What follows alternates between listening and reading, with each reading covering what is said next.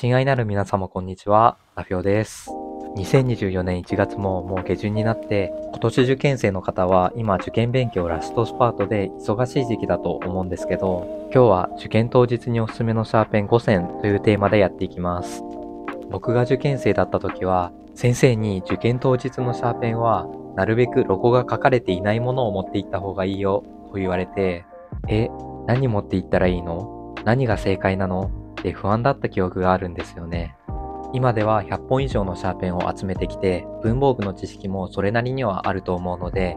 今回の動画で同じ不安を抱えている方の助けに少しでもなれたら幸いです。それから今回紹介するシャーペンたちは受験当日だけとは言わずに受験勉強とか普段使いにもおすすめなので受験を控えていない方でも最後まで見ていただけたら嬉しいです。本題に入る前に今回選んだ基準を軽く紹介します。まず一つ目がデザインがシンプルなもの。さっきも言ったようになるべく派手すぎない使いやすいデザインのものを選びました。二つ目が安価なもの。平均500円くらいで買えるものを選んできました。そして三つ目が入手しやすいもの。これは文房具屋さんとか Amazon で普通に買えるものという意味です。この3つの基準で選んできたんですけど、今回は YouTube のコミュニティ機能を使って他の文房具マニアの方にもアンケートを取りました。ありがたいことに約100人の方が答えてくれたので、そちらの意見も参考にして5つ選んできました。アンケートに協力してくれた方はありがとうございました。前置きが長くなってしまったんですけど、本題に入っていきます。まず1本目は、無印良品のポリカーボネートシャープペンです。こちらのシャーペンを一言で紹介すると、試験管泣かせのシンプルで書きやすいシャーペンです。お値段は120円で、神経は 0.5mm のみのラインナップです。無印良品の店舗やオンラインショップ、最近ではローソンの無印コーナーでも購入できると思います。Amazon でも3本セットが売っていました。こちらは見ての通りザ・シンプルなデザインで、本体にはロゴとかも一切書かれていません。これならどんなに厳しい試験官も黙らせることができると思います。軸の素材にはポリカーボネートというプラスチックが使われているので、軽くて軽快に文字を書くことができます。グリップにはエラストマーというラバーがついているので、滑りにくくて安定感もあります。いい意味でシンプルすぎて、これ以上紹介することもないんですけど、シャーペンにお金をかけたくない方は、これ一択かなと思います。2本目は、無印良品の低重心シャープペンです。お値段は590円で、神経は 0.3mm と 0.5mm があります。こちらも無印の店舗やオンラインショップ、ローソン、アマゾンなどで購入できます。こちらもさっきのポリカーボネートシャープペンと同様に、本体にはロゴは一切書かれていない試験管泣かせのシンプルなシャーペンです。厳密に言うとシールには文字が書かれているんですけど、剥がすこともできるので、剥がせば真っ白になります。軸の素材にはプラスチック、グリップには金属が使われているので、名前の通り低重心設計になっています。グリップにはローレット加工が施されているので、指が固定される感じで安定して握ることができます。ペン先のガイドパイプは 4mm になっているので、筆記中でも手元が見やすいです。こちらは重量感が重すぎず軽すぎずでちょうどいいので、値段の割にかなり書きやすい作りになっていると思います。逆に注意点としては、さっきローレットで指が固定されて握りやすいって言ったんですけど、ローレット加工の表面はギザギザしているので、好みはわかりやすいと思います。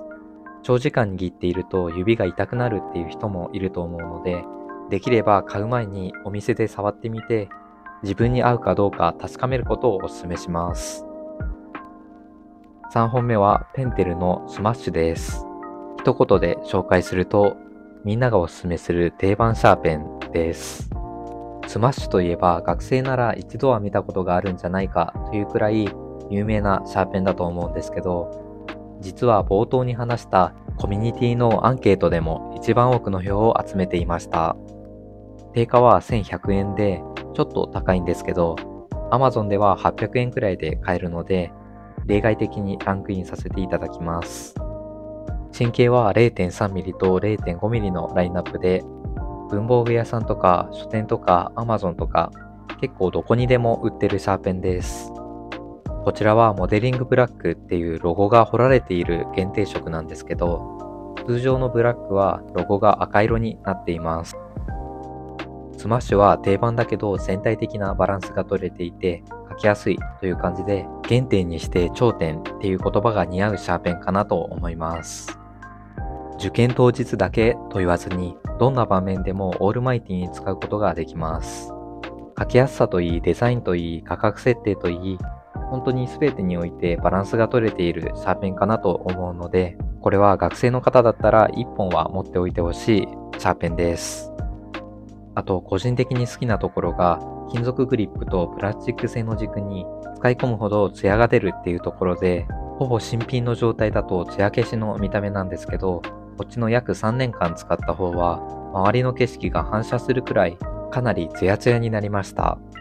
そんな感じで個人的に好きなシャーペンでもあるので、長めに話しちゃったんですけど、シャーペンに1000円くらい使っても大丈夫な方は、まずはスマッシュを試してみてほしいです。4本目はペンテルのタフです。一言で紹介すると、マニアが推す隠れた名作シャーペンです。こちらはコミュニティのアンケートでスマッシュに次いで2番目に多くの票を獲得していました。スマッシュ同様にペンテルが販売しているシャーペンなんですけど、ペンテルのシャーペンは名作と呼ばれているものが多くて、タフ君はその影に隠れてしまっている感じがあるんですよね。でもかなり書きやすいシャーペンなので、マニアの間では隠れた名作として評価されています。お値段は385円で、神経は0.5、0.7、0.9mm がラインナップされています。0.7と 0.9mm はマークテストにおすすめです。こちらの特徴としては、軸を回すと全長 30mm のデカ消しゴムがついているところです。普通のシャーペンの消しゴムと比べると大きさの違いがわかりやすいと思うんですけど、もうこれ1本あれば普通の消しゴムを別で持ち運ぶ必要がいらないんですよね。詰め替え用の消しゴムも販売されているので、ガシガシ使っても安心です。グリップにはシリコンが使われていて、これも滑らずにがっしり握れるので書きやすいです。シャーペンと消しゴムを1本で完結させたい方にはこちらおすすめです。ただロゴは結構目立つので、受験でこだわりたい方はそこだけ注意が必要かなと思います。5本目はステッドラーの92515です。お値段は550円で、神経は0.3、0.5、0.7があります。こちらも文房具屋さんや Amazon で購入できます。コミュニティのアンケートでは、ペンテルのタフと1票差で3番目に人気でした。92515は重量が 9g しかなくて、かなり軽いシャーペンなので、軽快な書き心地になっています。筆記試験でスラスラ文字を書きたい方におすすめかなと思います。グリップにはエラストマーが使われていて、適度なグリップ感でした。あとは軸が真ん中でくぼんだような形状になっているので、持った時に手にフィットするように工夫されています。ただ、軽量化をした影響で力を入れると軸が曲がるので、普段筆圧が強い方やペンの持ち方に癖がある方だと、ちょっと違和感は感じてしまうんじゃないかなと思いました。僕も筆圧が強い方なんですけど、最初は違和感を感じました。それからこのペンもロゴはやや大きめなので、注意が必要かなと思います。はい、という感じで今日は受験当日におすすめのシャーペンを5つ紹介してきました。もちろん普段使い慣れているシャーペンで挑みたいという方は、それで大丈夫だと思います。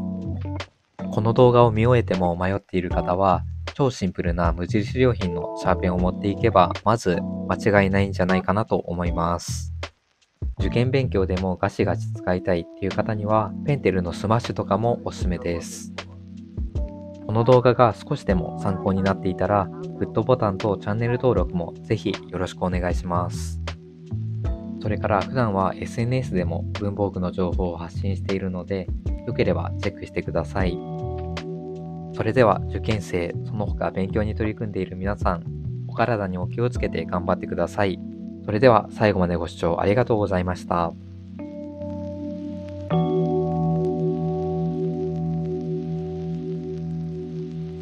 When I was